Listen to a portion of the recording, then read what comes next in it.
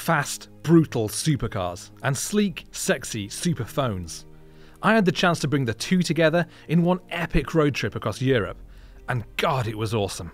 The journey would take me 1500 kilometres through Switzerland, Germany, and France before heading back to London. The car? A 2017 McLaren 570 GT. A supercar with killer good looks and a V8 engine that'll propel it from 0 to 60 miles an hour in a lightning fast 3.4 seconds. My goal was to see how well the new Samsung Galaxy S9 Plus could capture the exhilaration and the exhaustion of a once in a lifetime trip. Could the phone take the place of my trusty DSLR and shoot a magazine style sports car photo spread? What follows is my attempt to do just that.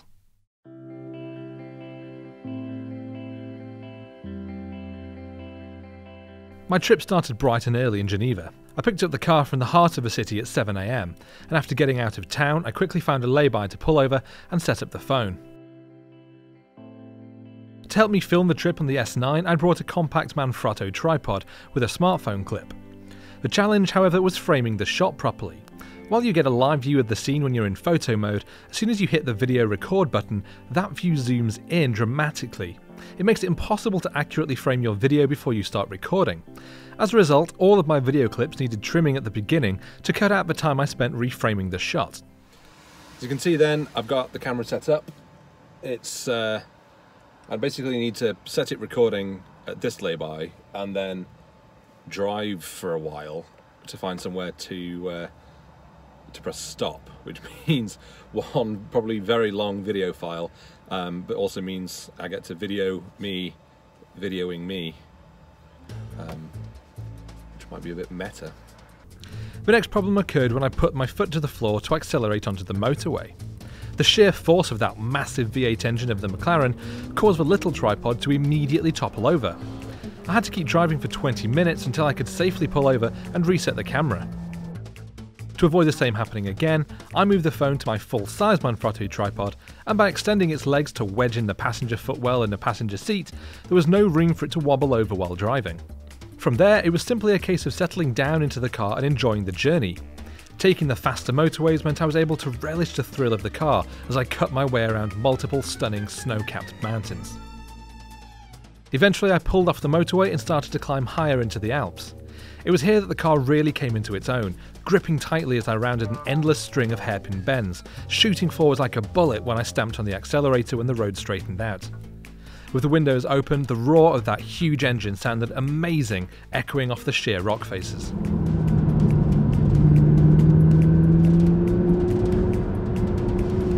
Kept a vague eye on the phone, pulling over every so often to restart recordings.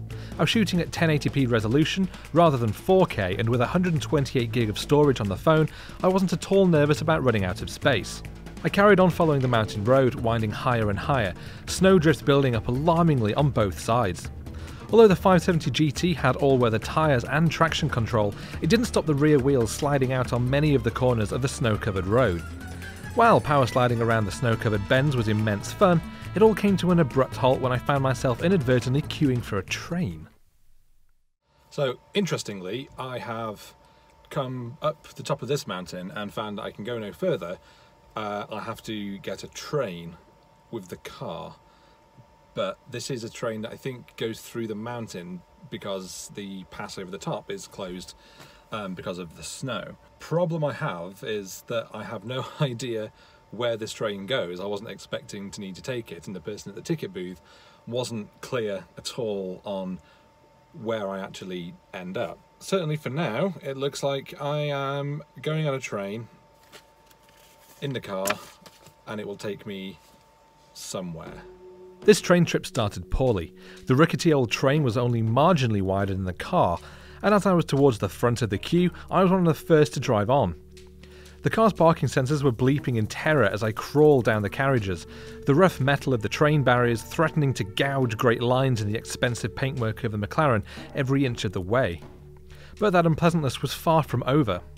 The other thing I didn't realise is that the tunnel had no lighting throughout. Well, the good news is, is that it's at least completely pitch dark. So, that's nice. No idea where I'm going and can't see anything without my iPhone light on. Tried to do some filming with the S9 here, but without the light, there's just nothing. Nothing at all. That's as much light as there is, as you can see, that's not very much. I really think they could probably do with a few lights in here, just to make it less terrifying. After what felt like two hours, but was more realistically about 20 minutes, I was back in daylight, and once the GPS caught up, I discovered I was at the Goppenstein station.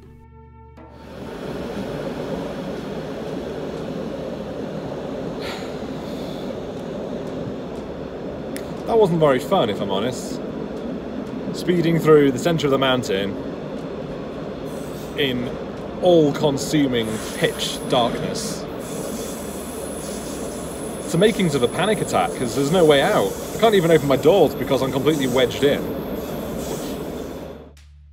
It wasn't exactly on my route, but I wasn't far off, and it didn't take long before I was at my first overnight stop in the Swiss town of Meiringen. It seemed a great place to do my first photo shoot of the car, and with about an hour of usable daylight left, I drove around to find the best location. That's no easy task. Not only do I need to find a spot that includes the beautiful mountains in the background, but that location must also have a great looking area in the foreground for the car to sit in. I think it's a cool scene, but more importantly, this is going to be a real challenge for the Galaxy S9 because we've got the very, very bright sky, we've got the shadows in the landscape around. Now, if the camera can capture this in one shot, then I'm going to be pretty impressed. As I was alone on the trip, there was no second driver who could quickly move the car out of the way in an emergency.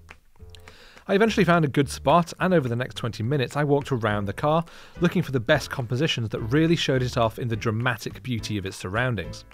I got down low for many shots, as this angle gives any car a powerful, menacing look, which works perfectly for a high performance car like the McLaren.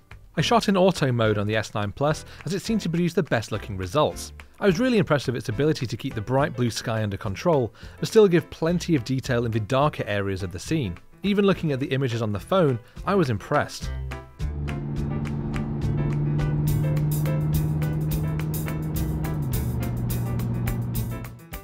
Back at my hotel, I wanted to shoot my room, as it's great to give some behind the scenes colour on a trip like this. Although the camera has a fairly wide angle view, it wasn't wide enough to capture the whole room. A neat trick, however, is to use the panorama mode and pan the phone around to capture the scene from one side to the other. I put the phone back on my tripod in portrait orientation this time, providing a perfectly level pivot point but let me simply push the phone gently in a semicircle to capture the shot. Day 2 would take me from the Swiss mountains through the German Black Forest and onwards towards my next overnight stop in France. I had over 800 kilometres to cover, or about 10 hours according to Google Maps, which didn't leave me much time to stop and take photos. So I was on the lookout for any locations that didn't require significant detours off my route.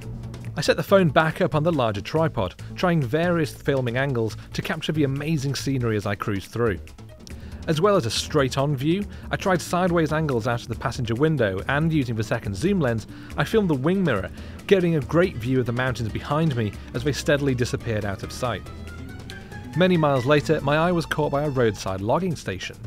I knew I had to pull up for some shots here. The huge piles of immense tree trunks laid flat provide a great opportunity for an interesting counterpoint the ultimate non off road vehicle going off road. The muted colours and subtle sunlight look great, even on the phone screen. Again, I made sure to walk around, moving the car into different angles and even opening the doors to try and find the best shot.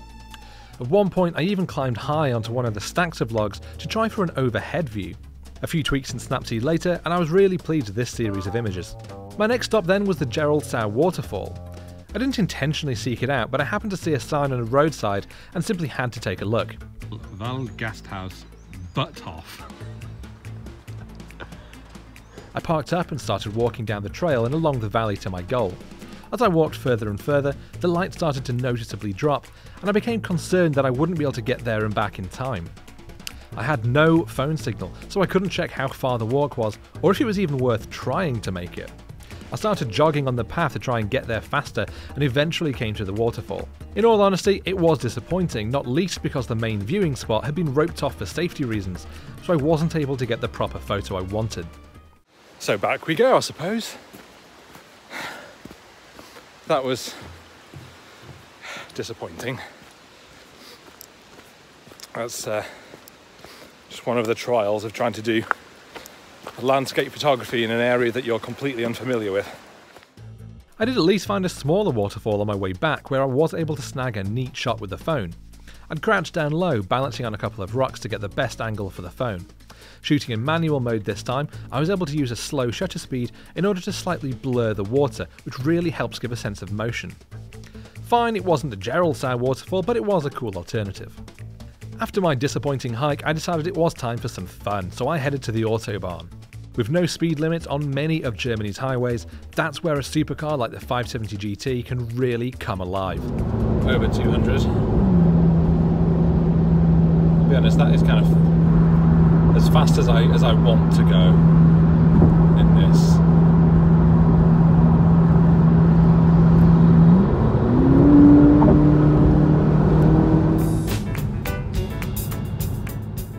The first leg of my last day took me through the Champagne region of France, where I made straight for a boulangerie to buy some quiche and an apricot tart.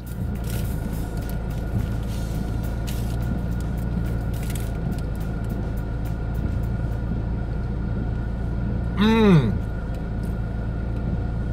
Well done, random patisserie in France. It's just sack custard in a pastry case. But it's good! Mmm. Yeah. This'll keep me going. Bollocks to the music. I've got my own soundtrack. Sounds like that. I visited this area before, so I knew just how stunningly beautiful it can be. However, I hadn't visited in March, and the combination of dense black clouds and the driving rain meant that shooting conditions were terrible. Worse still, arriving out of the summer season meant the lovely champagne houses I passed were all closed. I did hope to find some sort of luxurious champagne mansion to use as a background for the car to provide a wonderful context for the area. The nearest I could find in the pouring rain was just an outbuilding. It was perhaps better than nothing, but it wasn't the stunning vista or grand mansion I hoped to capture in what turned out to be my last photo location of the trip. After cutting my losses in Champagne, I cranked up the music and headed directly for the Eurotunnel, stopping briefly at one of the larger wine warehouses in Calais for a box of France's finest. I boarded the Eurotunnel train, thankfully a much wider carriage from the Swiss mountain train, so no fears of ruining the size of my car. Popped on a podcast to keep me entertained, while the train took me under the English Channel and back to England.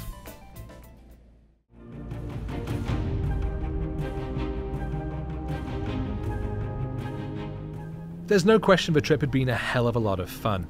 Driving an insanely fast McLaren supercar through the Swiss Alps and across the continent is the sort of dream trip I never imagined getting to do. But the photography wasn't as easy as I'd hoped. The Galaxy S9 Plus played its part extremely well. Its photos look great with spot on exposures and white balance. Manual controls too help me get more creative, and the wide aperture mode helped capture as much light as possible when I was shooting in shady locations. The sheer power of the processor meant that editing in Snapseed every night was an absolute breeze. The video quality looked mostly excellent as well, despite the frustrations in framing blind for the zoomed in view. The bigger problem for me was simply being alone. Having to find a safe place to park the car each time I wanted to shoot meant I was extremely limited in the areas I could actually take the photos. I could have got much more dynamic shots with someone else with me, and it would certainly have given me a bit more flexibility to stretch the phone's skills a bit. It's definitely been a learning curve, but despite that, the phone has helped me take some badass shots of an incredible machine in a stunning location. And really, that's all I wanted. My sheep friends are still here. Hello, sheep friends. Nervous. Oh. Oh. Hello. Hello.